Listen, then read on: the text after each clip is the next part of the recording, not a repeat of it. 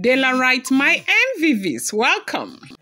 It is said that when a person takes too long to choose, there is a possibility that that person ends up with the leftover.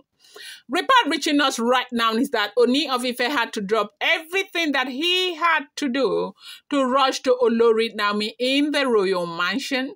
Um, the reason happens to be that Naomi Express has dissatisfaction over Ooni of Ife's disposition towards, you know, the Olori's um, royal duty.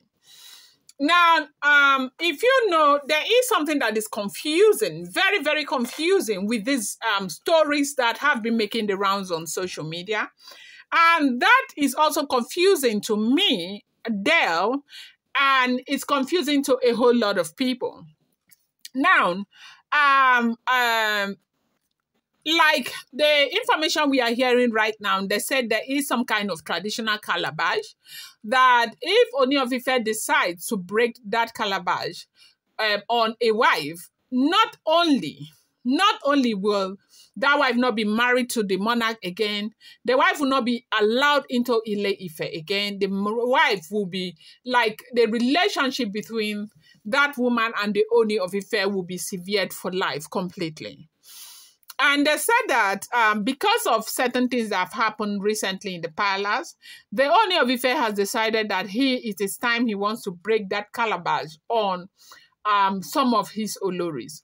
But the question that a lot of people are asking, how is it possible that you truly want to divorce the oloris and you truly want to make do with them? I think if by the grace of God, if I come live on Saturday, uh, should I have the time to come live? I'm going to bring this question. I will ask people like Momiabe and all other great Yoruba people to explain to me because I don't understand this. Because the last time I checked, if somebody is unhappy in a relationship or in a marriage and they don't want the marriage anymore or anything, one thing they do is that they seek divorce. But before the divorce, there is this natural separation that happens. But we are hearing that this thing that is going on between the Ooni of Ife and this Oloris has got to do with royal duties. So that is how royalty is done. They said, yes, that is how royalty is done across the globe. Well, okay, so, but right now, we heard that Ooni was very engaged.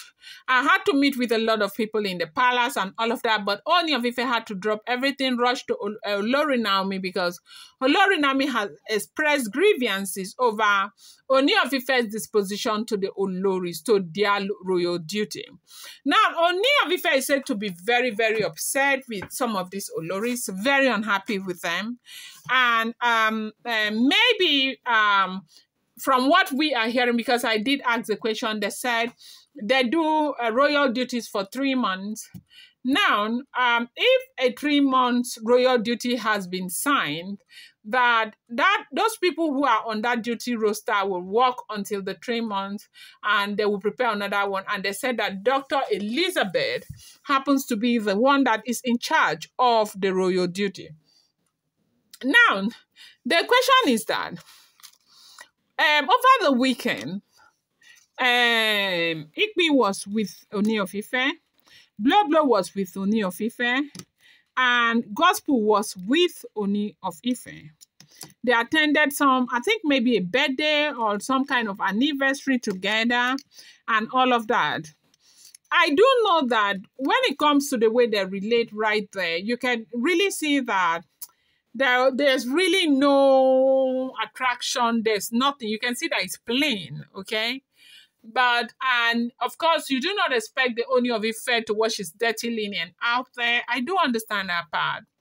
But the thing is that if you really want you're so upset with these women to a point where you're ready to break the calabash. So why uh, keep this kind of close relationship with them even though a lot of people tell you the relationship is not close, it has to do with royal duties.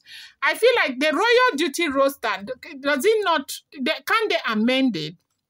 That is the question. But they said Olori Naomi um had to express how she felt about the royal duty.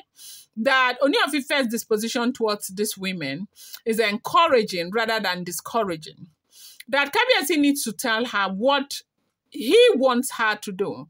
And they said when this happened, they said even Reverend Esther Ajayi has spoke spoken to Olori Naomi not to allow people to um, try and pressure her and also try to influence how she thinks about Ooni of She should forget about royal duty or no royal duty.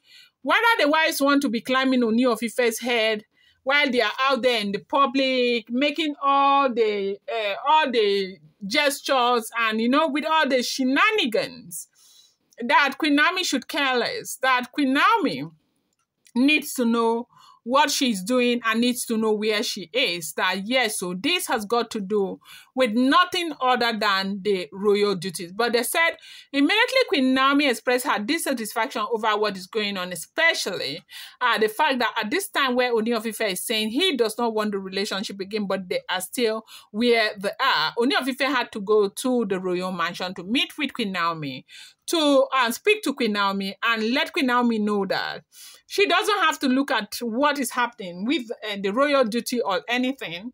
That um, uh, Naomi should know that it's royalty, that is how it works, and that is how it's going to continue to work until you know um, um, things are fixed. That Kabiyesi has made up his mind.